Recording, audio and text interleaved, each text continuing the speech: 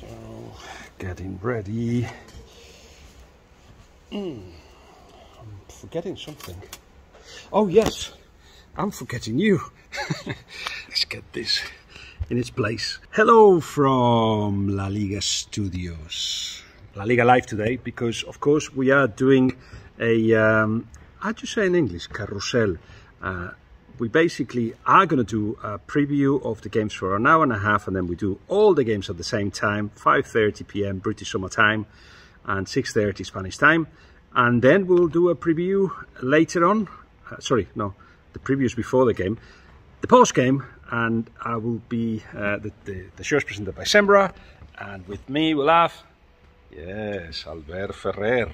So, what can we tell you about uh, what's about to happen? Remember the points. We've got Atletico Madrid with 80 points. 80 though. Let's stop there for a second. Not a league in which the winner is going to take a lot of points, but it has been that kind of league.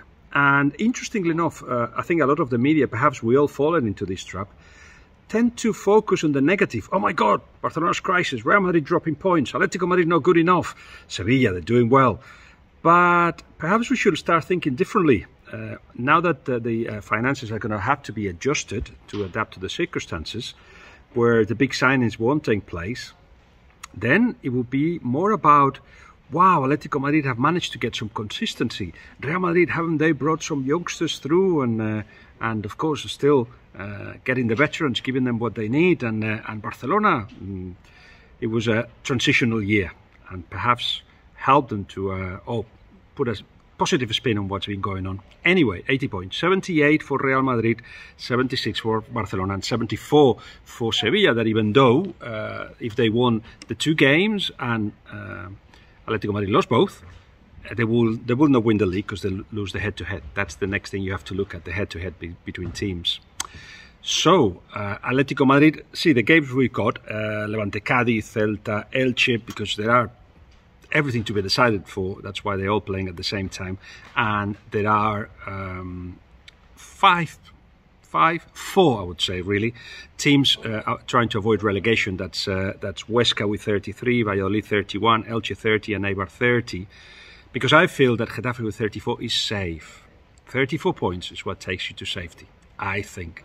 I've been saying that for a while, but let's see if I was right or not.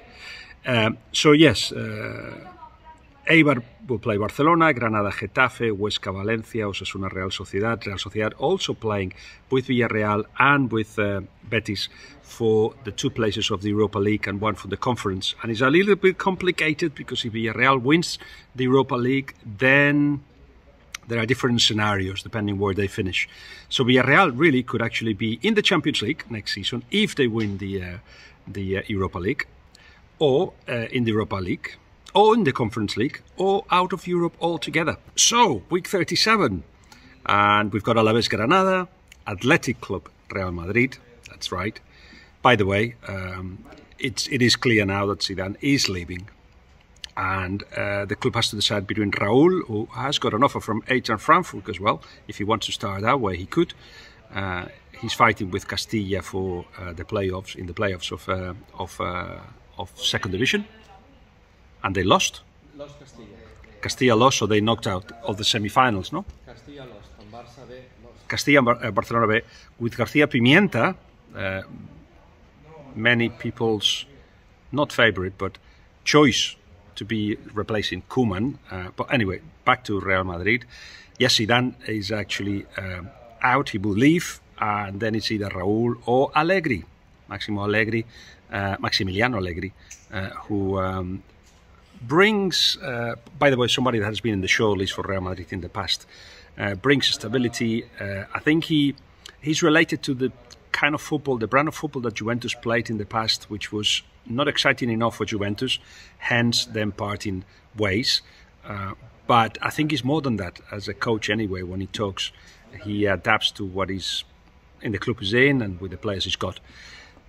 It'd be interesting to see Allegri or Raúl in that uh, again uh, transition that Real Madrid have to do, or that mix that you saw, for instance, against Granada. You saw a team that had youngsters in uh, in Marvin and Miguel Gutierrez. You saw um, players that have come through the ranks, or at least that have won the, the right uh, to be in the first team, like Valverde.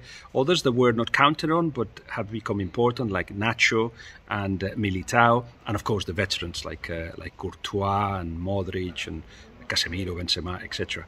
That is the mixture. That's what's going to happen to Real Madrid next season, but it will not be with Zidane. Atletico will play Osasuna. Remember that Atletico have uh, actually uh, only lost four games since they moved to the Wanda Metropolitano. Just four games, only once this season. And uh, if I'm not mistaken, that was against Levante. And uh, and they are very strong against. Osasuna side are playing for nothing but they uh, already spoiled uh, our party when uh, I think Atletico Madrid were celebrating their centenary that day, and Osasuna ended up winning that game and uh, spoiling the celebrations. Barcelona play Celta.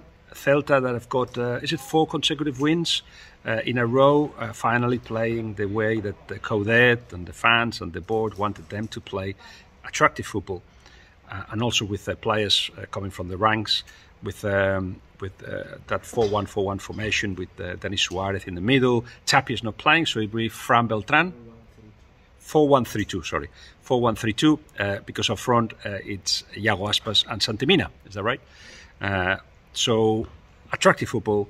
They are um, with very slight possibilities of actually uh, making it into Europe, but they, they have put themselves in a very good foundation to actually attack the European places next season. They are much more confident, they defend much better.